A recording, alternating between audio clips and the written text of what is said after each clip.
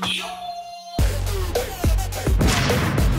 いどうもこんばんは。こんばんは。シャレコアでございます。ありがとうございます。えー来ましたね、シャレコアの時間ですか。まあこれがね流れてるのはおそらくなんですが、うん。年始ですかね。年始なんでしょう、ね多分年始ね。でしょう、はいはい。ただこれ撮影するのが、ね本日、はい。この回ではい「七不思議チャンネル」えーこのねえー通常撮影会、はい。えーラストなんですよ。お疲れ様です。えー。本当にね。本当にね。一年ね。ね。今日もね、今日もというか一年間ね。あれらしいですよ。ねうんどうやら、はいはい。ねあのセカペニが言うにはですよ、はい。我々うん。あの年間全部のコンテンツ合わせて、うん。えー約2000動画あ上げてるらしいですよ。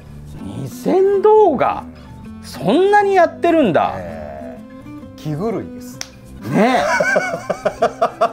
上げてるな上げてるなと思ってたけども、それほどの回数いってるんだとは自分では思わないですもんね。もうね我々がシャレコアです。あ、はいそのシャレに存在ね。シャレにならない 怖い人たち。そうだ、ええ確かにそれだけの本数上我々がシャレげてるわ。コアです。ね、本当皆さんありがとうございます。ということで今年一年、はいどうもミスターシャレコアです。出てきた出てきた出てきた出てきた出てきた出てきた。そうそうシャレコマだって多分一年やったやりましたね。ってことになるよね。やもうもうちょっと前からやってるかもしれないからね。で、はい。まあ今年ラストのね撮影をですね、まあ何で飾ろうかなと思ってなんでしょう今年最後は。なんかね、あのー階段でもさ、ん。こう人間かどうか判断がつかないみたいなさ。なんかねちょっと不思議な話ってあるじゃないですか。ありますね。人間の形してるけどお前どうなの？みたいな、うんありますね。騙しに来てんじゃないのみたいなのとかねこういろんなパターンあるんですけども。ね。まあちょっとそういったくくりでですねえーちょっと話そうかなと思っておりまして。なるほど。えー、1話目がですね「はい。えー陶器の棒」というですね。陶器のこれひらがななんですよ。なるほど。はい。陶器の棒え全然わかんないね。タイトルだけだと。じゃあいきますね。はい。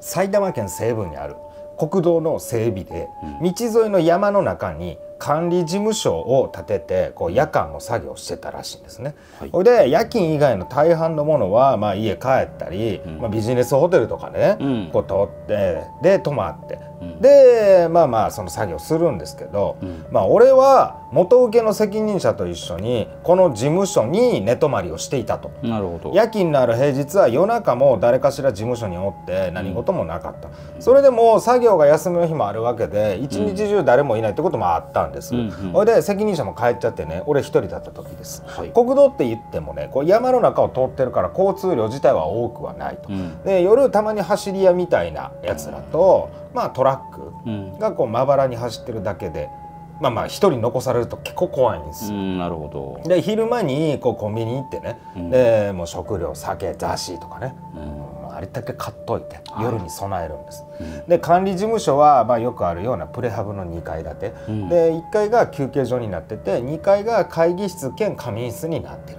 うん。でその日夕方までこう作業場をねこう見回りしたりとか、うん。で国道をね見張ってる警備員のおっちゃんねこうう雑談したりしてて、うんで過ごして。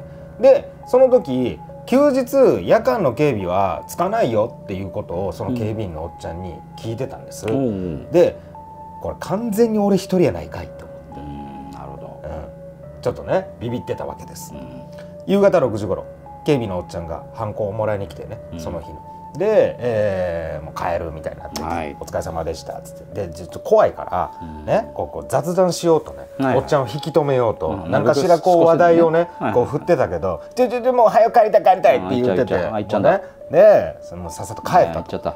で、えー帰り際「夜は早く寝なさいね」ってねおっちゃんが言うんですよ。お母さんみたいな。本当そうだね。でもねなんかそのね、夜は早く寝なさいねっていう顔がうん。ちょっと硬いというか、なんかもう適当な感じで、うん。夜早く寝なあかんでみたいな、うん。うんテンションじゃないんですよ。あ夜は早く寝なさいねみたいな。あ意味深じゃないですか。えー何これ。で、うん。えーまあ、帰っていって。うん。で、えー日も暮れ出して辺りはすっかり暗いと、うんで休憩所で買っといたご飯食べて、はいはい。で、まあ、雑誌見ながら缶ビール飲んで、うん。でまあまあ大体ビールが半分ぐらい飲んだ時に、うん。急に外で音がするんですおう。鉄でできた機材の上に小石が降ってきたようなカンカンカンカンっていあーはいはうい。軽い音、うん。で、えーそれほど大きな音でもないけどもはっきりとそのカンカンカンカンって音が聞こえて。うん。まあまあでもそんな音鳴るぐらいだったらね工事現場なんでね。まあまあある無視はしようと。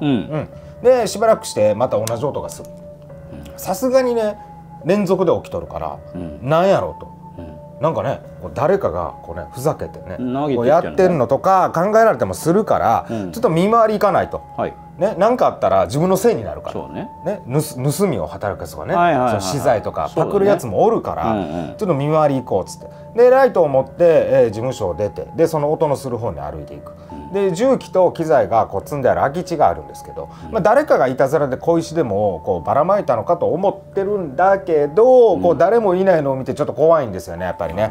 でその辺を一回りしてで変わったところはない。もう確信得たんでもう戻ったと。はい。で戻ろうとした時なんですけど、うん。急にガサガサガサガサっていうこう藪をかき分けるような音がして「うん。えー何?」っつってこうびっくりして振り返ったんですよね、うん。そしたらそこに人がいるんですよ。え？スーツ着たおっさんなんですほう。で身長高いんですよ。うん180は超えてるぐらい。でか。っうん、でかいね。このスーツ着た大さんが言ってて、で顔をちょっと見たんだけど目大きいないうぐらいしか特徴のない普通のおじさんで、なるほど。あこいつがこう石投げてたんかいって思ったんでんね。うんうん。お前誰だと、はいはい。ね、こう聞くと無視するんです。でまたガサガサとこう草木をかき分けて山の方に行くんですでもね明らかに不審者じゃない、うん。だから「おい待て待て待て」と。言うね。ね、で追いかけてったんですよ、はいはい、そしたらそのおっさん藪の中で立ち止まって、うん、ね、自分とは違う向こうを向いたまんまブツブツブツブツブツブツブツなんか言うてるんですよ「うん、お何言うてんねんお前」と「こっちこっち向けよ」と。ね、その頭のおかしいおっさんが入り込んだと思ってるんで、うん。こう言ってみたと。うん。で、えーなかなかね言うこと聞かへんからもうちょっと嫌やけど近づいていくんですよね。うん。でこうよく聞き取れなかったんだけども、うん。そのおっさんが言うとるこのブツブツ言うてたね、その言葉が徐々に徐々に聞こえてきたんですよね。はいはいはい。でもう多分なんですけどはっきりとは聞こえてないんで。うん「陶器の棒陶器の棒陶器の棒陶器の棒」ってずっと言ってるんですよ。うん。わけわかんない何言ってんだお前はと。うん。ね、でおっさんのね頭をライトでパーって照らしてみたんです。はい。そしたらその瞬間におっさんものすごい勢いでブワー山の中に逃げていったんですよ。よめちゃくちゃ気持ち悪いじゃない。おそんなおっさん。やばいやばね。だからもうそれ以上は追っかけずにはい。ちょっと一回事務所戻ろうっつって、いはいはい。はでもねそんな一連があった後だからすぐには寝つけないわけでいねあそうでしょプラス何かあったら嫌じゃない？不審者見つけとるから。うはい。だから責任者に電話して、ん。その出来事を伝えたんですよね、うんうん。そしたらまあその責任者曰くまあまあ変なやつだろうっつって、ん。多分何もないだろうから大丈夫だよみたいなことを言われたんで、うん。まあまあまあええかと。でもね耳の中にね、こう陶器の棒がずっあさっきのとねこう覚えとるわけで、謎のワードうん、でもうめちゃくちゃ怖いんですよ。はい。で仲のいい同僚がいてるんですけど、うん。ちょっと電話かけてね。うん「おいなんか変なの見かけたからちょっと来てくれへんか」ってお願いしてみたんです。うん。で最初はその同僚「いやめんどくせえな」うんもちろんねそういう耳ね。よ」っつって。う。ん。でもしつこく頼み込んだら、うん。まあまあ来てくれることになったんですよでもねその待ってる間の、まあ、30分ぐらいちょっと長いんですよね。でもうもうこれどれぐらい経ったのかなって時計見たら5分ぐらいしか経ってないんですよ。全然経ってないからで時間はだいたい夜の9時、はいでそろそろ同僚が来るはずだったんだけどもう全然来ないんですよね。でもう全然来えへんから電話をしたらうん留守電なんですよ。あらであれ？っつってしばらくしてからまたかけても留守電なんです。おうそしたらどんどんどんどん悪い方向にね考えて進むわけで、はい。え来る時に事故ったんかなとか、うん。いろんなことを考えるんです、うん。そしたらもうそわそわそわそわしてきて、うん。でもうこの状況落ち着かへんからタバコ吸おう思って、うん。1階の休憩所でタバコを吸ってたんですよね、そしたら外でね「ギャー!」っていう声が聞こえて。何何？でギャーっていう叫び声の後に「うわー!」みたいなうめき声も聞こえてきたんですよ。うん。でめちゃくちゃ怖くてですね、はい。でも気になるから外に飛び出るんですよ。はい。ね、うん。そしたらまたあの180超えたスーツ着たおっさんが、さん？そうギャーって言いながら走り回ってるんですよ。何やってんだよ。でねうわおっさんやと思った瞬間にもくもくもくもくってねその黒い霧がこう立ち込めてることに気づくんですよ。はいはいはいあはもうこれ完全に警察やと。いうん。ね、この黒い煙もなんかこうね、やってんじゃないか煙幕みたいなの、ね。なるほどね。やっとるんやと、はい。でもう携帯取り出してあのおっさんがいてることをこう警察に電話しようと思って、はいはい。電話をねこううん。かけようと思ったら、おっさんが「うわ!」って言いながらこう走り回ってるその急に角度をこっちに向かってきて。え「うわーって来て。いいいい無理無理無理。でうわーこっち来たと思ったら「うん。助けて!」って言ってるんですえなんでお前が？うんうん。よで「いやいや助けてもらいたいのはこっちです」と。そうでしょう。はい。でもこうおっさんのねもう危機迫る顔に、はい。もうちょっと真っ赤に取られうんてでこの携帯落としてもうたあとはいはいはそしたら次の瞬間にこの突っ込んできたおっさん俺の携帯踏みやがったんですよ。わでバキッつって携帯壊れてもうて、うん。でもうその瞬間にもうムカついてもうて。ーは「お前これ何してんねん!」っつって怒鳴ってねおっさんの腕をグイって引っ張ったんです、うん。そしたらおっさんそのままの勢いで倒れ込んだと、いはい。でこのねちょっと踏まれて、この折れた携帯を拾い上げたんですよね、うん。完全に折れてて液晶も割れとるんです。よ、うん。でおっさんはその倒れた状態で怯えた顔しながら俺のことを見上げてるんですよね、うん。で「何してくれてんだよ」っつってねこうね言うわけで。もちろん「何してくれてんだよこれ」っつってね、そしたら「早く早く早く!」って言ってるんですよ会話にならないんです。ななんだと。ね、うん。でもうムカつくからこのおっさんを掴み上げようとしたんですよ、はいはいはい。そしたら、ん。おっさんが「ダメ!」って言うんですよ。なんだよ。何がダメなんだよ。で「ダメ!」って言った後に急に立ち上がって逃げてったんですまた。行動わからんな。難しいわ。で国道の方におっさん逃げてったんですよね、はいはいであっち国道やなと思ってて、うん。でもうとりあえず追いかけていって、うんでさっきのね黒い霧ノームがですねはい。はいはいブワーって出とるんで、うん。で工場の正面もぼんやりしてるからこう足元が危ないですよあーなるほどね。ほいでこんな山の中で強靭とね追いかけっこしている、うん。もうねこの状態何してんねやって俺うん思って、うんでも仕方がないのでもうちょっと諦めようっつって。はい。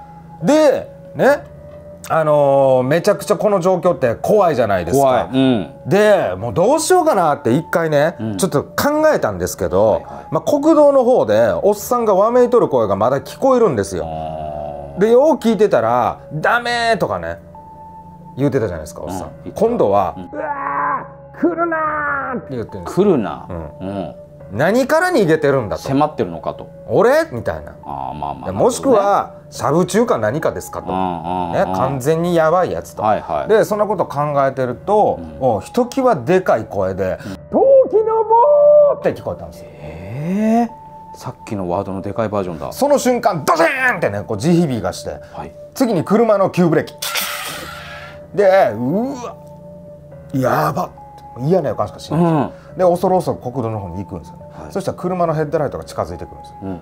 同僚の車。ああはいはいはいで急ブレーキかけたの同僚なんですよ。あそうなんだ。でね同僚の顔見た瞬間にホッとしてね「うんはあやっと来てくれた」っつって「さっきのドンドンと何何?」っつってね、うん。聞いてみたら、はいはい。すぐそこの国道に落石があったんだと、へえしかもでっかかったぞ岩がっつって、うんうんうん。ね危なかったなみたいな、うん。でちょっと会話してで霧で落ちてきた岩がね、こう見えなくてちょっとぶつかりそうになったけど、こう避けれたから大丈夫だよみたいな、はい。でちょっと笑ってたから大丈夫だなとう思って。んうんでちょっと確認したんですよ。あのスーツ着たおっさんなんかわめきながらね。走り回ってたんだけど見なかったってね、うん。聞いたんです。でももう見てないよっつって。うん。でそこで気づくんですよ。そういえばさっきまでわめき散らしてたあのおっさんの声がもう聞こえないんですよね。ああなるほど。え？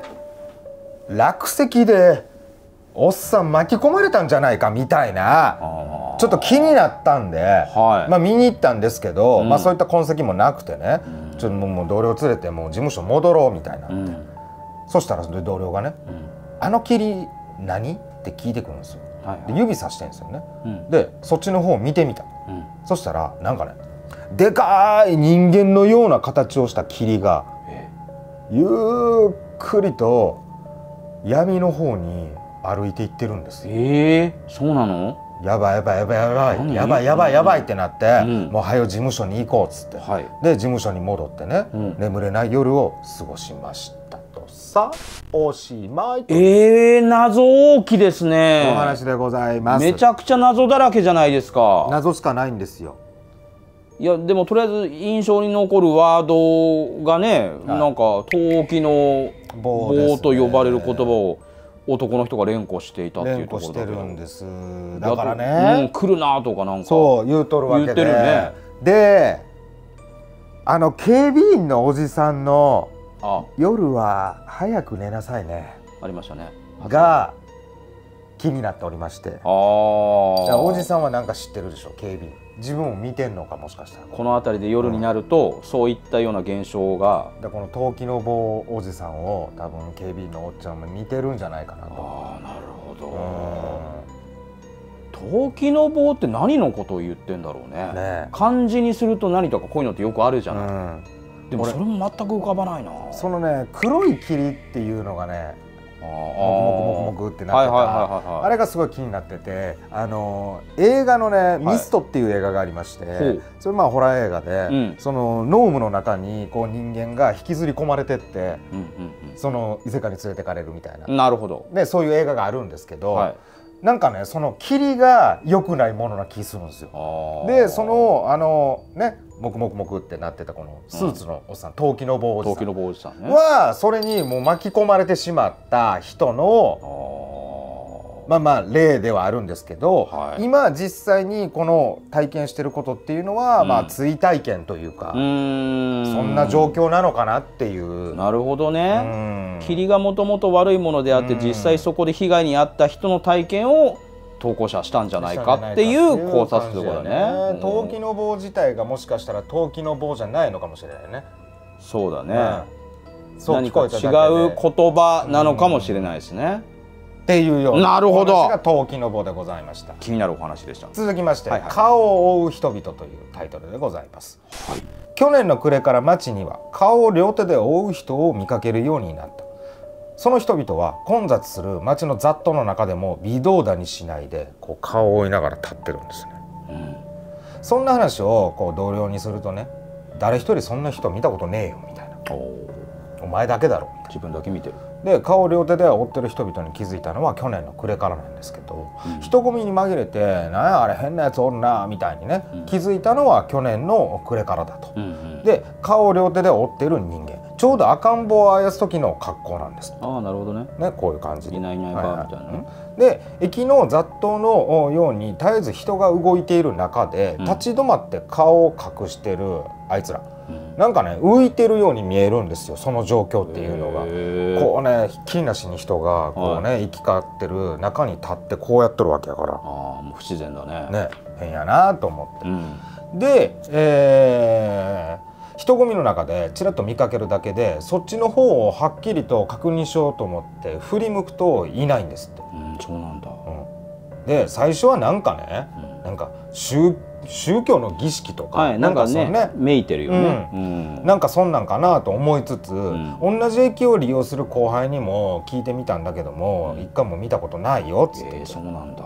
で、えー電車の中とかね登下校する学生たちさらには会社の中にまで顔を覆ったやつが紛れているのを、えー？まあ、見かけるようになってきたからちょっと余計濃くなってきたんですよね。はいはいはでまあまあ同じ話をね後輩だけじゃなくて何人かの知り合いとかにもこう言うんだけども、い。うん。まあまあ見てんの俺だけなんですよ。なるほど。だんだんね、うん。こう自分の見てないところでみんなが顔を覆ってるような気がして、なんかうんうんみんながこう俺をはめてるんじゃないかなみたいな。なるほど。ね？感じでちょっとムカついてきたんですよ。はいはいはい。であそこにいただろお前っつって「うんうんこうもはあ?」みたいなちょっとふざけてるから「いやいたろうとね？いたろお前」っつってうんバーンってちょっとどついてもうたんですよ。おおやっちゃったね。そしたら、うんまあまあこれってね問題じゃないいやもうですか。かなりの問題ですよはいこれはもう。であのちょっとねあの会社から、まあ、厳重注意より強い罰をですねおっとっとっと。ええ与えられましてなるほど。でもうもうこれはもうちょっと会社にいられないなみたういになっん。てで実家に帰ることになったんです。はい。で、えー故郷はですね、えー今にも山に飲まれそうな、あーもう乾村だと。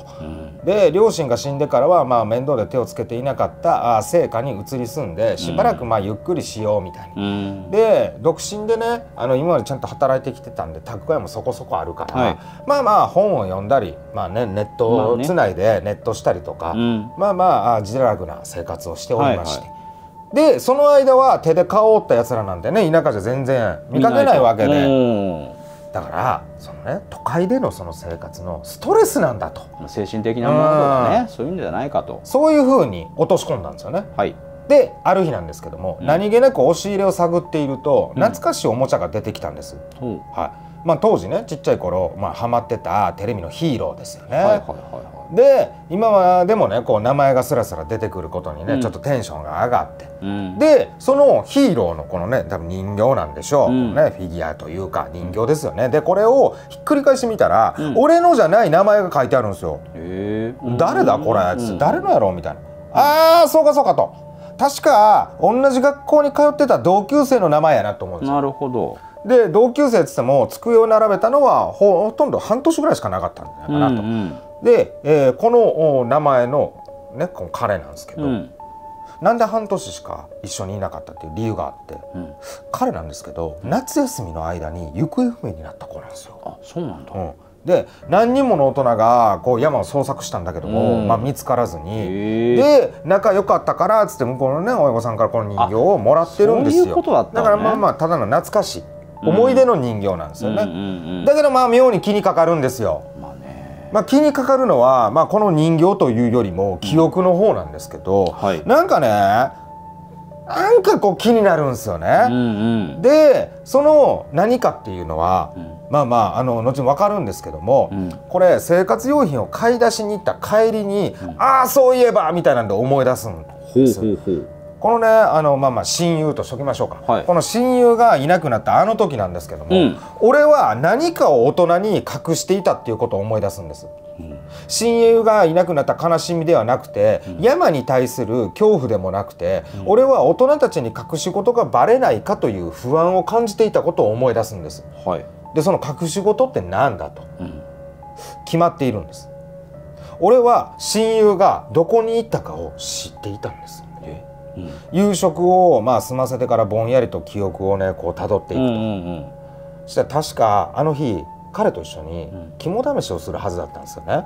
でそれも夜にこっそり家抜け出してきて、ん。で少し離れた神社の前で落ち合うっていう算段だったんですよね。はいはいはでその神社っていうのはもうねあの人も神様もこういなくなった崩れかけの廃神社でで危ないから絶対行ったらあかんでってこう大人たちに言われてたところで、うんうんであの日俺は夜に家を抜け出したんだけども、うん。昼とね夜って全く違うじゃない、ね。子供ながらに、ん。何ここみたいになって、うん。で結局家に帰って寝てもうたんですよね。あそうなんだ。次の日ですよ。彼がいなくなったと大騒ぎ。ほうなるほど。だから俺のせいやっていうねあ引け目もあるからもうずっと黙っとったんですよね。はで今までその記憶もうね封印してるから忘れたまま大人になってたんです。いへえ。神社に行こう。ね。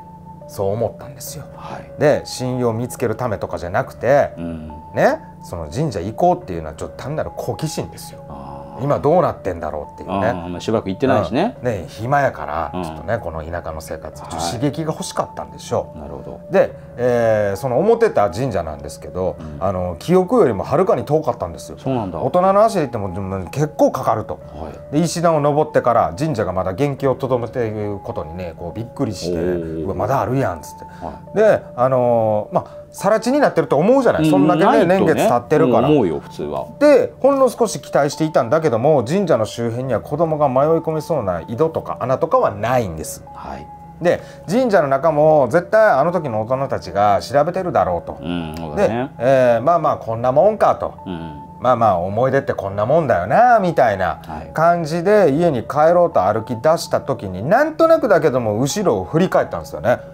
そしたら境内の真ん中で顔を両手で覆った少女がいるんです。うわ。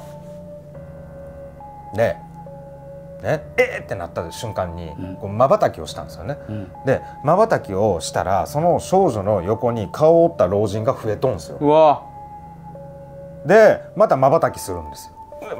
でじじいいてるやんってなって瞬きするんですそしたら今度少女と老人の前に顔を覆った女性がいるんです。うわ怖っ。うわっ！てなってまた瞬きしてまた目が開いた時に女性の横に古めかしい学生服着込んだ少年がこの顔を覆って立ってるんです。あどんどん増えてくじゃん。で瞬きしたんです。だからみんな消えたんですよええでうわ何やろうと思ってね進行方向。まあね帰り道の方に体を向き直したら鳥居の下で、うん。あの時行方不明になったあの同級生が顔を覆って立ってるんですあいた。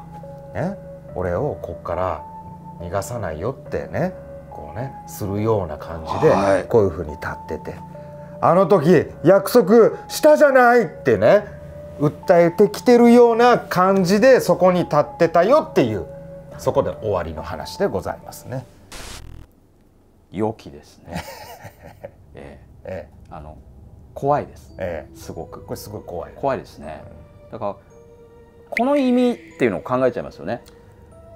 顔隠すね。そう。だからなんとなうくん。かくれんぼなのかなと思ったの。はいはいはい。鬼になってるみたいな状態でうん数えるからみたいなうんうんで思ってたんだけどでももともとは肝試しにし行こうっていうことだったんだよねね。2人はね。ってなってくるとその遊びのこのマイムが結びつかないから、うん。じゃあなんだろう普通に泣いてるってことを表してるのか、うんどこにその、ま、う動きの意味があるのかってことをちょっと考えるような話ではあります。そうやね、ええ。でね都会でね過ごしてた間もねそいつら出てきとるわけでどんどん現れるでしょ。そうそうそうそう。そいつら一体何なんだっていうね、忘れるなよと。うん、戻ってこいよ、うん。俺まだ待ってるんだぜ、うんみたいなことなのかも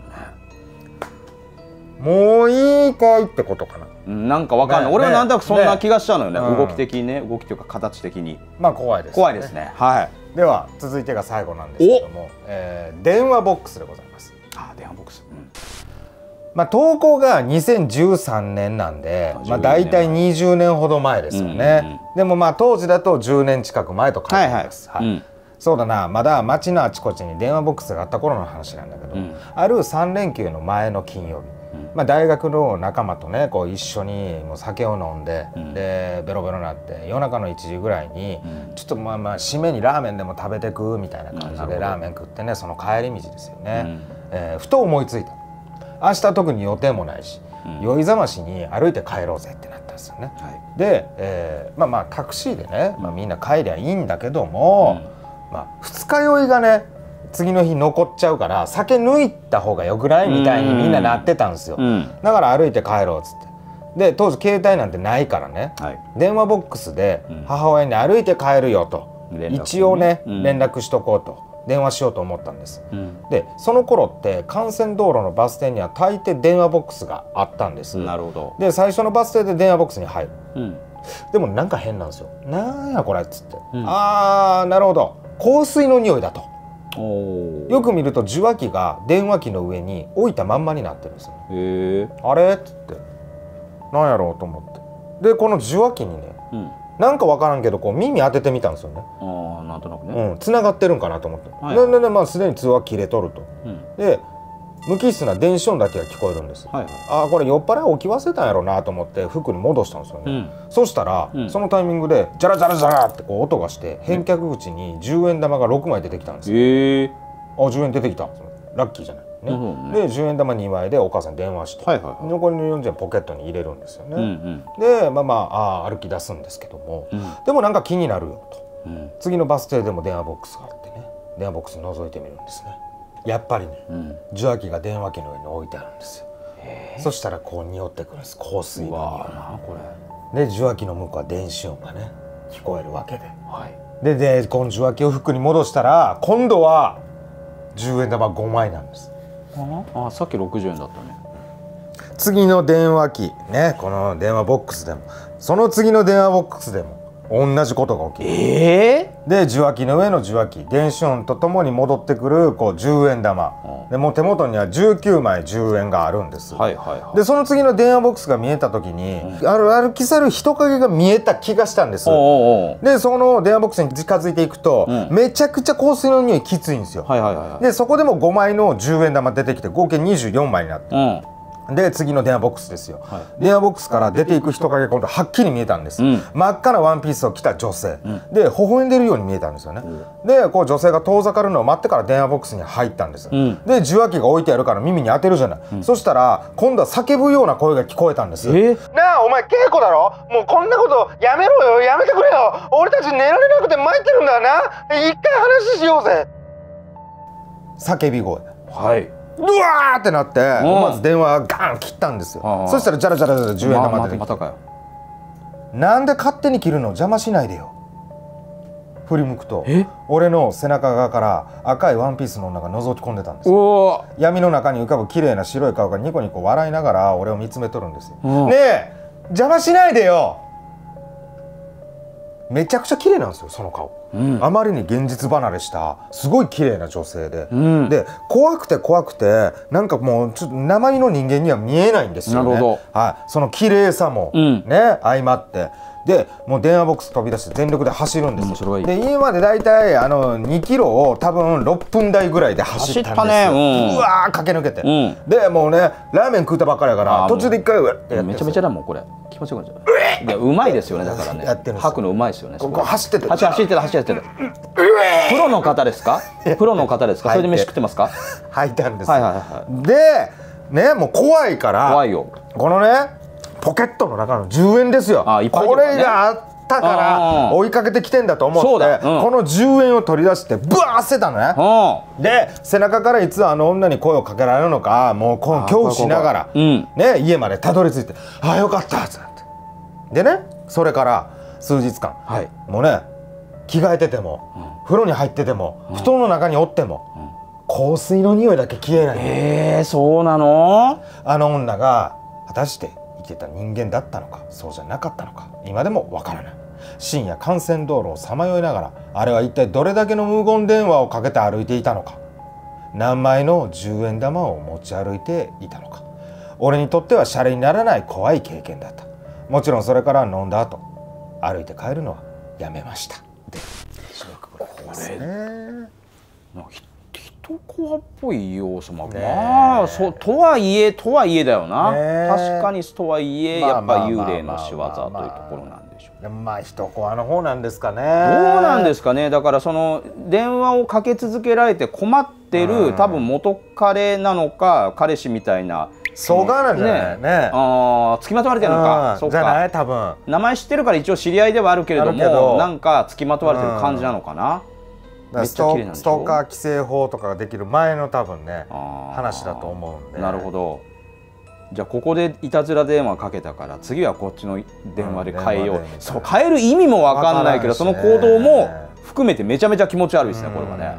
うんでやっぱ牛の国参りとかをしている時のなんか女性の顔ってもう完全にね化け物みたいになるって言うじゃない。そうだね。だからこの恨みを込めて何かやってる。なるほど。だからそれがもしかしたら呪いの一種なのかもしれないし。あーまあ電話っていうものを使ったうん何かね呪いめいたものなのか分かんないけど、ね。だからこのねあの生きてる人間の顔じゃないようなね正気を失ったような顔。でなるほど。もまあまあ綺麗な人でみたいな、はいはいはい、うんめちゃめちゃ怪談らしい怖い話でしたね。というような形でなるほど。今回はちょっとですねまあまあ怪談要素が強い。そうですね、うん。ドキドキするようなお話ばっかりでした。という感じで、はい。えー以上でございます。以上シャレコア会でした。あざありがとうございまし